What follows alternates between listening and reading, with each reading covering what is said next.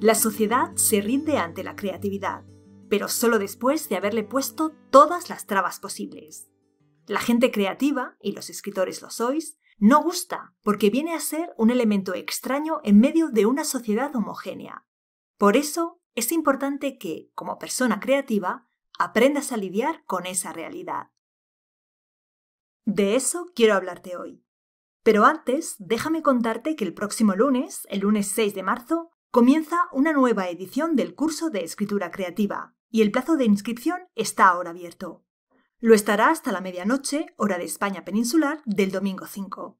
Si te gustaría formarte con nosotros y quieres pasar los próximos tres meses aprendiendo los elementos que intervienen en un texto literario y cómo usarlos, y ponerlo aprendido en práctica escribiendo textos que la profesora leerá y comentará contigo, apúntate al curso de escritura creativa. Nos encantará tenerte a bordo. Te dejo el enlace en la descripción. En la novela El pobre Goriot de Honoré de Balzac, Vautrin, uno de los personajes, dice Nos doblegamos ante el poder de la genialidad, la aborrecemos, intentamos calumniarla porque toma sin compartir, pero nos doblegamos si persiste. En pocas palabras, la adoramos de rodillas cuando no hemos conseguido sepultarla en el barro. Esas palabras del inmortal Balzac recogen una gran verdad. Así que regálame 10 o 15 minutos para que exploremos juntos la cara oculta de la creatividad. El primer lugar donde se proscribe la creatividad es en el sistema educativo. Si eres una persona creativa, ya desde niño se te intentará obligar a que renuncies a tu talento y a tu peculiar idiosincrasia para amoldarte a los requisitos de una educación estereotipada.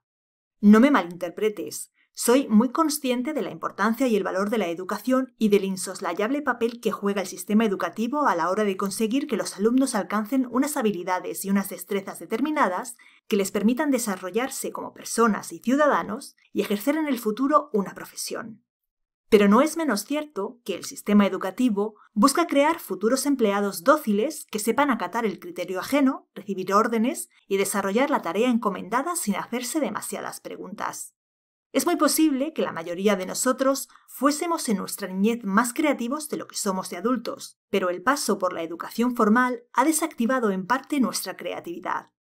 Las personas creativas, que os perdéis con facilidad en vuestras ensoñaciones, que tenéis una imaginación fértil y que siempre os planteáis el porqué de las cosas, probablemente tengáis cierta dificultad para adaptaros a vuestro paso por las aulas y más tarde para adaptaros en puestos de trabajo rutinarios.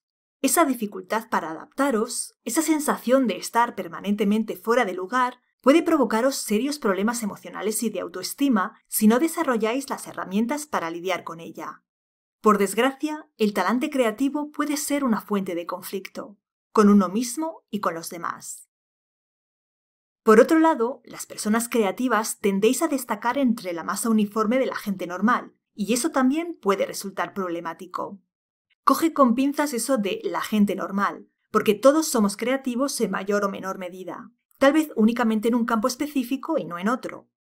Lo que sucede es que en parte nuestra creatividad ha sido desactivada, en parte no solemos entrenarla y en parte tememos la condena ajena si nos mostramos excesivamente creativos. La realidad es que, como apuntaba Vautrin, el personaje de Balzac, la sociedad condena a las personas creativas.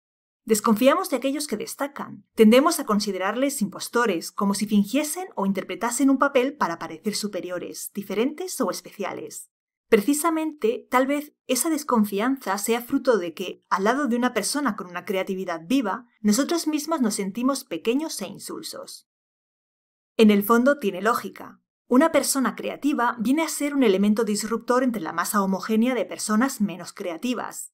Sus planteamientos e ideas pueden resultar chocantes, su manera de ver el mundo difiere de la de los demás, no hace las mismas cosas que la mayoría y cuando las hace acostumbra a hacerlas de manera diferente. Y todo ello genera incomodidad y desconfianza. El precio que las personas creativas tenéis que pagar por ser diferentes es vivir rodeados de una cierta hostilidad de baja intensidad. Vuestro entorno, la familia, los maestros, los compañeros de profesión, amigos, reconocerá a duras penas lo genuino de vuestros planteamientos. Os considerará raritos. Minusvalorará vuestros logros, el típico eso también lo puedo hacer yo y solo se rendirá la evidencia cuando un éxito palmario culmine vuestros esfuerzos. Cuando todo el mundo reconozca tu talento, hasta los más renuentes acabarán por aceptar que probablemente es cierto que lo que haces merece la pena. Esta situación, como es lógico, suele afectar a la salud emocional de las personas creativas. Sentís la falta de aceptación de quienes os rodean, porque la creatividad suele asociarse con una alta sensibilidad, y sois conscientes de que esa poca aceptación tiene su origen en vuestro talante especial.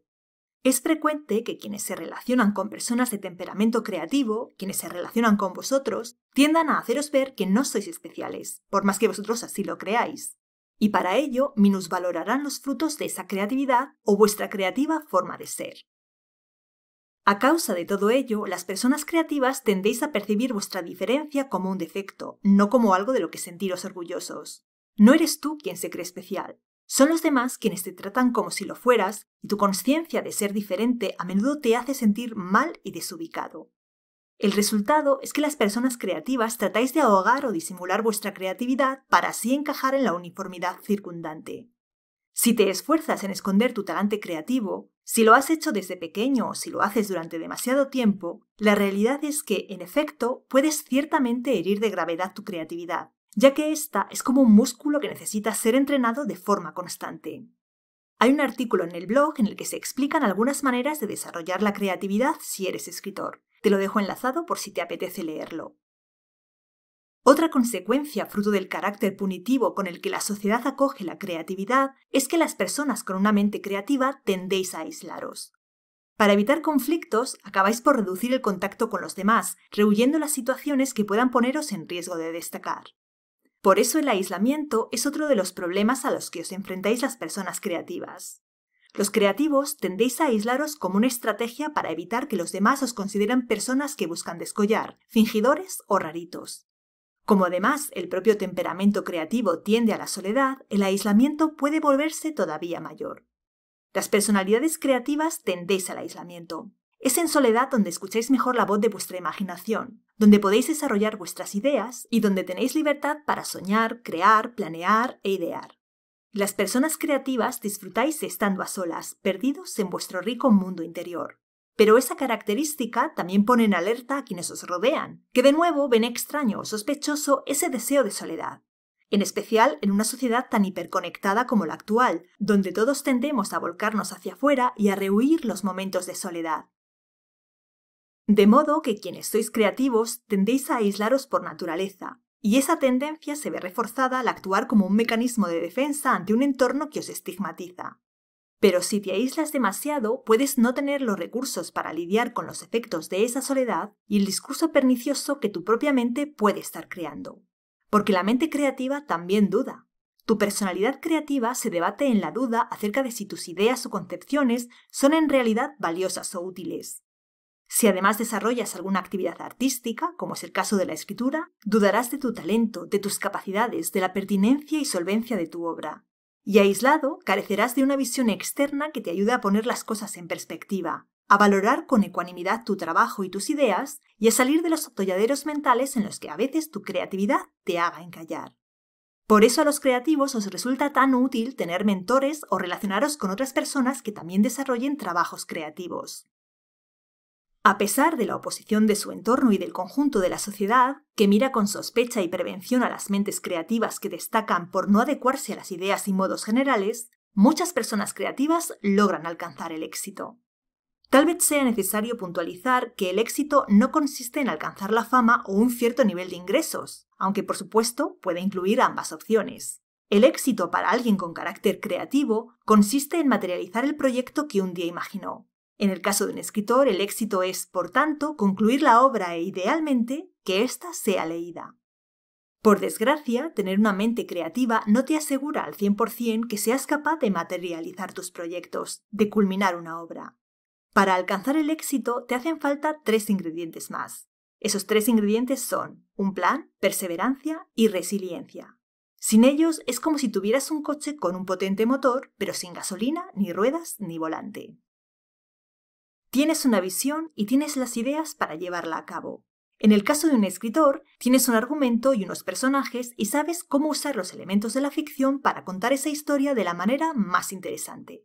Pero si no tienes un plan bien estructurado para trabajar en tu obra, es muy probable que nunca acabes tu novela. A los creativos fantasear se os da muy bien, pero eso no es suficiente. Si no tienes un plan, los mil inconvenientes de la vida diaria se cruzarán en tu camino para impedir que tu idea vea la luz. Falta de tiempo, pensamientos limitantes, procrastinación. Tu plan debería incluir desde un buen trabajo previo a la escritura que te permita conocer cada recoveco de la obra, aunque planteado con flexibilidad para dejar espacio al cambio creativo, hasta una buena organización de tus jornadas de trabajo, pasando por una buena calendarización de las distintas fases del proceso de escritura. Ya he dicho antes en diversas ocasiones que escribir es un trabajo exigente que, además, se prolonga en el tiempo. Por mucho que lo hayas escuchado por ahí, no se escribe una novela en un par de meses. Por eso hace falta perseverancia para trabajar en tu obra día tras día, incluso aunque estés cansado, incluso aunque tengas otras ocupaciones, incluso aunque el proceso se complique y te haga dudar, incluso aunque haya días bajos, momentos en que sientas deseos de abandonar y lanzarlo todo por la borda, incluso aunque haya días en que te preguntes si realmente vales para escribir, si tienes talento. Sin perseverancia y tesón, es muy probable que acabes por darte por vencido, aunque tengas la mente más creativa del siglo. En efecto, habrá días bajos y mil complicaciones. Habrá desgana y dudas, habrá obstáculos. Por eso, además de creatividad, necesitas resiliencia, capacidad para adaptarte a la adversidad y así hacerle frente, superarla y salir fortalecido del proceso. Ahora ya lo sabes, la creatividad tiene una cara oculta y es mejor que aprendas a lidiar con ella. También es importante que tengas claro que no basta con ser creativo para alcanzar el éxito o ser un buen escritor. Hay otros factores que también tienen un peso importante. Si quieres conocer cuáles son esos factores y cómo lidiar con ellos, es que eres un escritor curioso, candidato indiscutible a unirse a nuestra comunidad. Pásate por sinjania.com y completa cualquiera de los formularios que encontrarás para hacerlo. Así cada semana recibirás nuevos y completos artículos para ayudarte a mejorar como escritor y sacarle punta a tu creatividad.